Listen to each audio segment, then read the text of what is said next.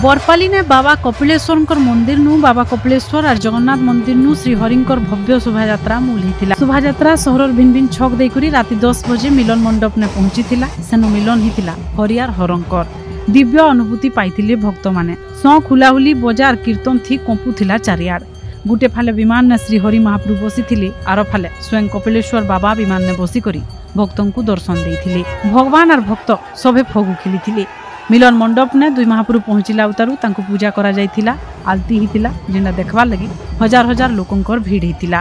ପୂଜା ଉତାରୁ ବାବା କପିଳେଶ୍ୱର ଆର୍ ଶ୍ରୀ ହରିଙ୍କର ଯେତେବେଳେ ଭେଟ ହେଇଥିଲା ସେ ଦୃଶ୍ୟ ଥିଲା ଅପୂର୍ବ ଆର୍ ବହୁତ ସୁନ୍ଦର। ଲୋକ ଦେଖୁଥିଲେ ଦୁଇ ମହାପ୍ରଭୁଙ୍କର ଭେଟ ଘାଟ ଆର୍ ରଙ୍ଗ ବି ଖେଳିଥିଲେ ଫଗୁନ ପୁନି ଦିନ ରାତି ହରିହର ଭେଟ ହେସି ଯେନ୍ଟା ଶୈବ ଆର୍ ବୈଷ୍ଣବ ଦୁହି ପରମ୍ପରାର ଉପାସକ ମାନଙ୍କର ଏକାକାର ହେଇଯିବାର ଗୋଟେ ପରମ୍ପରା। ଗାଁ ଗାଁ ନେ ହରିହର ଭେଟ ହେଇଥିସି। কিংবদন্তি হিসাবে দুহি সাং হরিয়ার হর ফগু খেলসন বন্ধুতাকে সুর পকাই করে তার আরও দিন সারা দুনিয়া মানসি রং খেল জাতি ধর্ম বর্ণ পন্থ সবুন উপরকে যাই করি ভাইচারা বন্ধুতা ভালো পাইবার উসত উসনাকি সাঙ্গে সবে এক হেই করি রং খেলসন